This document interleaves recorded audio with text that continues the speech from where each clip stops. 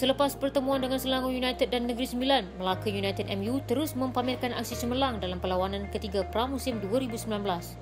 Pada pertemuan di Stadium Hanjebat malam tadi, MU membenam klub Liga Singapura Warrior FC 5-1 apabila berjaya membolosi gawang lawan seawal minit ke-15 hasil jaringan Anselmo Aruda Casagrande da Silva dengan bantuan sepakan penjuru Safiq Rahim.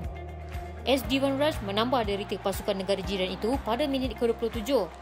Casagrande yang juga bekas ayam tambatan Velcra FC sekali lagi menambah derita Warrior pada minit ke-34. Dalam pada itu, Luka Milanovic yang dikritik pengurus pasukannya Datuk Wira Muhammad Yusof Mahdi akibat aksi longgar ketika menantang Negeri Sembilan tempoh hari, tampak menemui sentuhan dengan kehadiran Casagrande dan berjaya menjaringkan gol pada minit ke-39.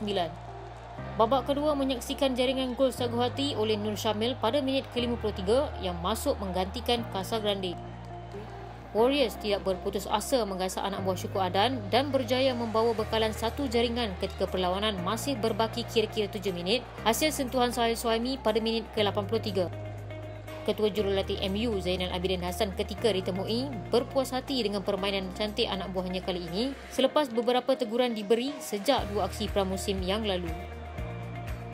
Puas hati uh, separuh masa pertama tu uh, banyak banyak pergerakan-pergerakan yang yang kita uh, perbaiki dengan game yang lepas hari ini menjadi. Jadi saya harap mereka dapat teruskan uh, dan juga uh, ada sedikit-sedikit yang perlu kita buatkan lagi uh, untuk untuk untuk siap sedialah uh, pasukan ni.